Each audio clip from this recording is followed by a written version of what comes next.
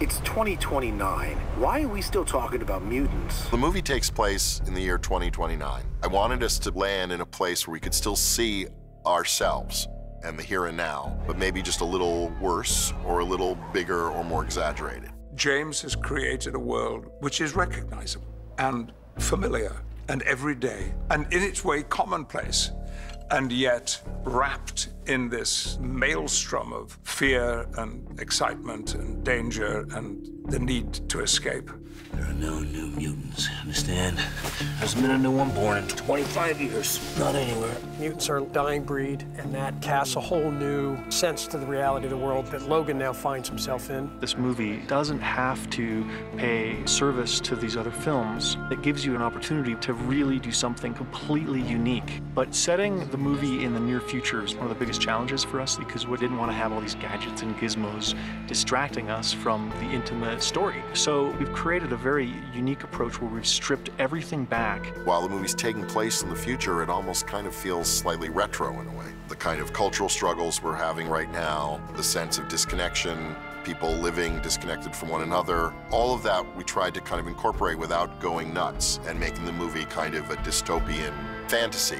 We have automated trucks that are driving across country, which is actually probably only a heartbeat away. We also have automated threshers that are harvesting corn in Kansas. In the background of some shots, we have an automated street sweeper. I wanted it to be resembling our world. I remember 25 years ago, people would talk about what the future is going to be like.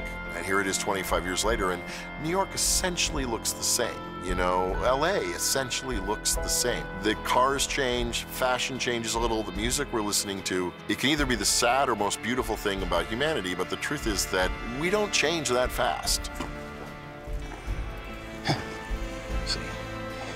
Not the only one that's been in hands. Donald Pierce leads a group called the Reavers, who are made up of a whole different bunch of amputees and different kinds of damaged guys with unique limbs, mechanical limbs, cyborg limbs built on. Donald has an extensive background in the military, so he's genetically engineering them, not just to get a robotic limb, but to have it that much more functional. I love the idea of this kind of hardcore, tough as nails bunch of amputee warriors, and that's what I wanted to retain and explore. Aquí, this is, aquí están mis amigos. This is a long way. You understand? I am not taking you to North Dakota. It was really important to Jim that we get off the stage and that we go to practical locations and shoot it in a way not a lot of movies get made anymore. Jim wanted real places. He wanted to use real environments and not have to go to a place and totally remodel it to make it look like a film crew came in here and scenic it out. John Mathieson came on as our DP, who's absolutely terrific and was really into the idea of using a lot of practicals and available light and creating a very realistic, grounded look for the movie. There's not one glamorous, clean moment in this film. So, you know, everyone's grubby, dirty, bruised, cut. We can be rougher and truer and walk into a location where the light is unflattering or it's hard. It's middle of the day, hot, burning, shimmering desert and white skies, not blue skies. There's a few puffy clouds here and again, but it's uncomfortable. John's an incredibly talented guy. He's got a resume that anyone would be proud to have. And for all of us, I think we want to kind of get it to be more real, more in camera less digital, less artificial, in whatever ways we could do that. And we were lucky enough to get John to come and help us do that. It's like a road movie to me and very real, closer to those road movies of the 70s. People on the run, got to move, got to run, got to get away. People in flight.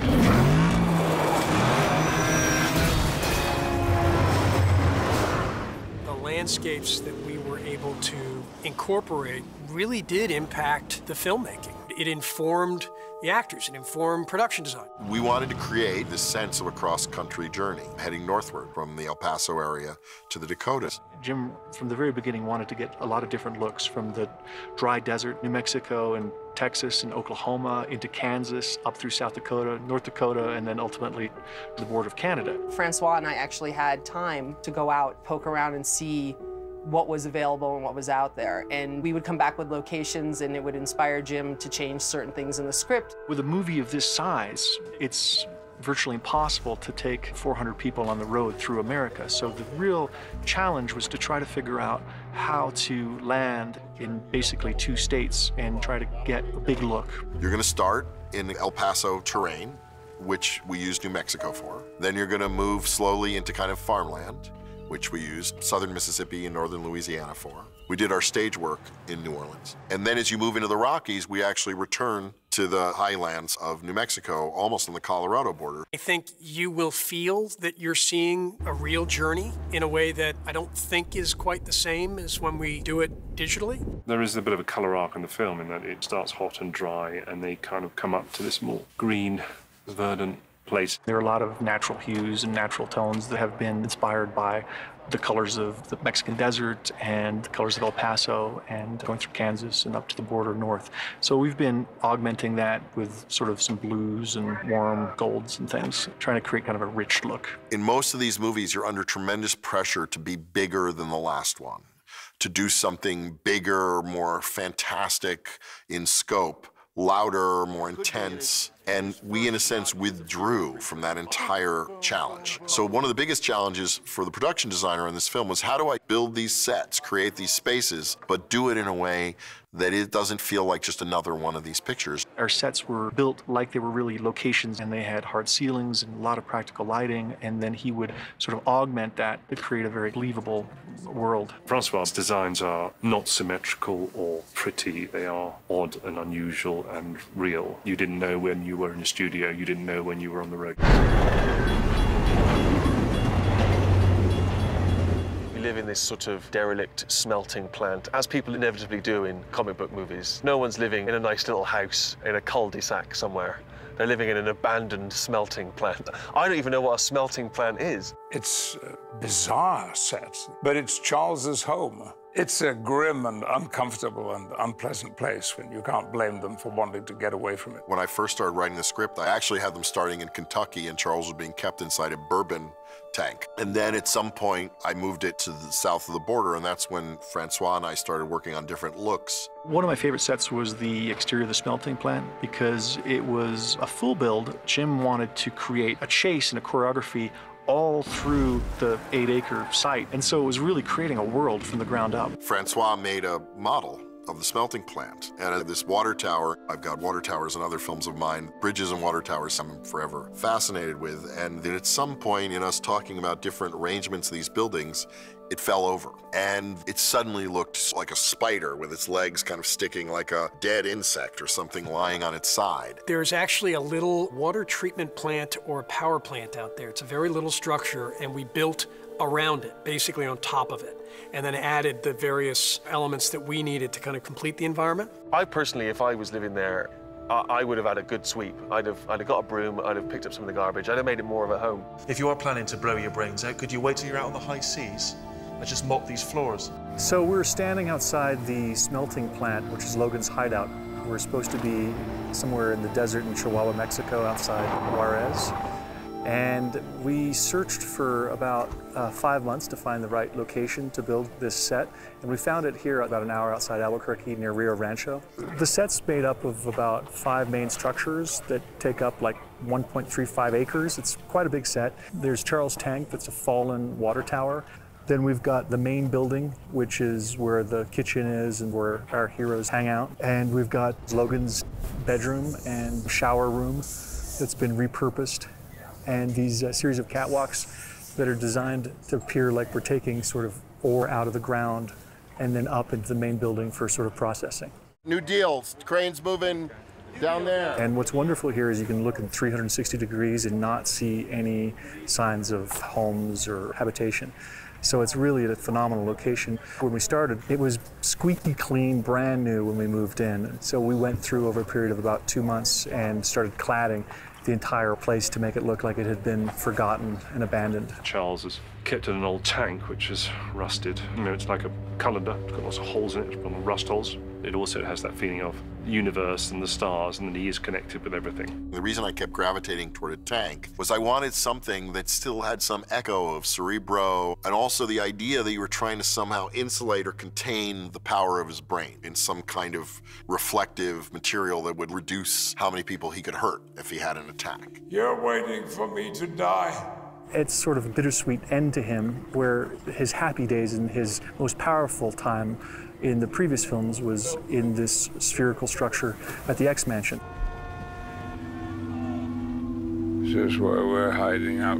One of the first stops on the journey is a casino. In Louisiana, most of the casinos are water-based paddle boats. So we actually went to the only land-based casino in town, and it was great for us because it did give us a big Vegas feel without having to go to Las Vegas. That scene was really difficult for a kind of bizarre reason, which is that even a movie shoot, anyone under 18 could not set foot in the casino. Specifically in the Louisiana area, you're just not allowed to have a minor anywhere near the interior of the casino. We had to do a little bit of trickery. We had to use doubles. We did some visual effects work to kind of communicate it, and we created sets where we could double the environment. So between all three of those or four of those little cheats, we were able to pull it off. It's a pretty elaborate special effects scene that hopefully does not look like a special effects scene at all, just so we could walk her from the entrance to the elevator.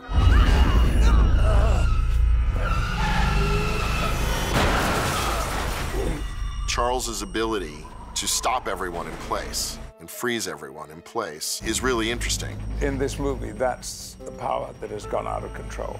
Because when he is not medicated, he is liable to have seizures which can impact other people, even if they're not even in the same room or the same building with him. And that makes him very dangerous. The idea is that he's actually stopped everyone from breathing. So they're not only frozen, but they're actually drowning. And that led me to imagining what kind of action sequence could I have? And something that seemed really chilly would be the idea of Logan entering a sequence where everyone's frozen and him picking out every bad guy and essentially gutting them while they can't even move anything but their eyeballs. The look was really interesting. There's a lot of technology now where if someone is too bumpy with their camera, you can run it through a program that steadies it. So we did tests before we shot when we were crazy with the camera, like crazy shaking. And then we ran it through these programs. And of course, once the camera is shaking that much, it can't ever really bring it down. But you get all this beautiful smearing as the computer is trying to kind of pull together an image from something that's so chaotic. So the whole sequence is actually shot with the cameraman on a kind of vibrating rope, vibrating the camera like crazy. And then we run it through a process which takes all the shake out, but you are left with this kind of smearing effect.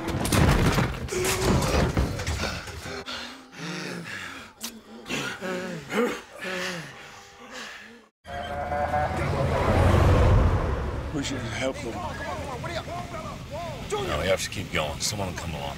Someone has to come along. One thing that happens when you're writing road pictures, you have characters who just arrive. You just land and you meet them, and they're not here for the whole movie. They're here just to kind of play a role. And the Munson family is a family that, at a kind of midpoint in the movie, in a kind of moment of repose, a moment of rest, our heroes have a chance to kind of gather themselves after their last kind of brush with the Reavers. The farm scenes represented the heart of the movie. It was really important that that feel very, very real. We were lucky enough to find an amazing farmhouse in northern Louisiana, which is the only spot in the entire state where they produce corn at a great quantity. So the farmhouse was surrounded by acres and acres of corn in all directions, and it happened to be this incredible house that was built in the 1830s that hadn't really been modified, and then we recreated the interior on stage. The family environment, the place that Logan has not been to, whether it's been years, decades, whatever, it's a place he's not comfortable in. It's a place Charles has been yearning for, and it's the first time that our young actress has ever seen a family dinner, ever seen family photos, mementos, a place of that environment. It's a scene of such warmth and mutual affection and understanding and good humor and good food in a domestic environment, which is not something that you have seen much in this franchise. You know, Logan, this is what life looks like a home, people who love each other, safe place. You should take a moment and feel it. When the Munsons die, for no better reason than our heroes have sadly stopped there to rest, it launches a kind of very dark movement of the film in which Logan and Laura are trapped together. You're trying as a screenwriter to kind of lift an audience up and then however cruel it sounds, drop them as hard as you can. So what we're trying to do is to kind of allow Logan this glimpse of life and then to rip it. In a sense, proving Logan right. It's like, no, the world, that is not for me and will never be for me.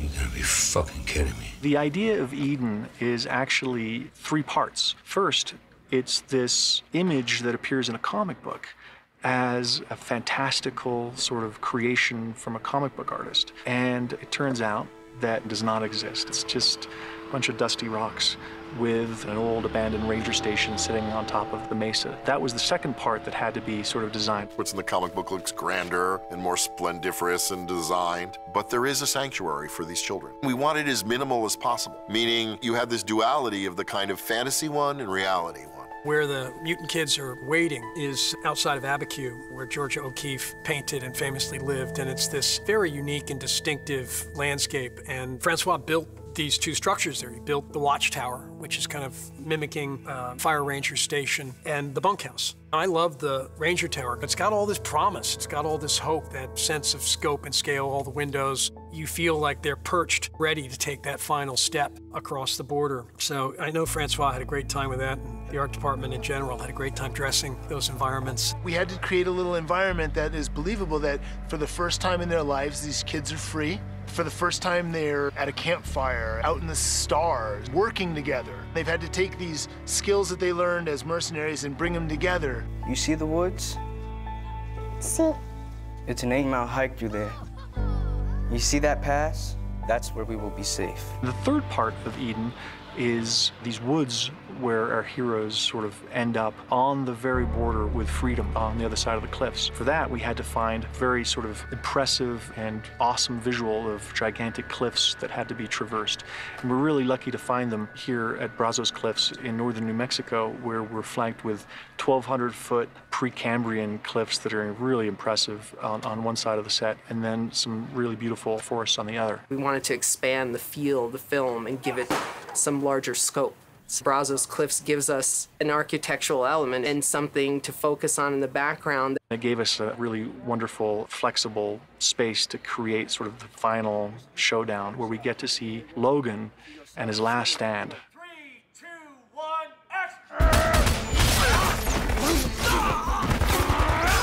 I'm hoping that when people see this movie, they're going to be really surprised at how refreshing and sort of new it is. Using real locations whenever we could, real vehicles, real driving. There's a certain reality when someone's riding in a car, the way the wind's blowing on them, the way the light's changing around them, and even the performance. The world is really going by. They're not sitting in a green void watching nothing or watching a guy eating a tuna sandwich from the Crafties. That's a lot of what we're after, the production designer, the DP, and I, in trying to get a very naturalistic film.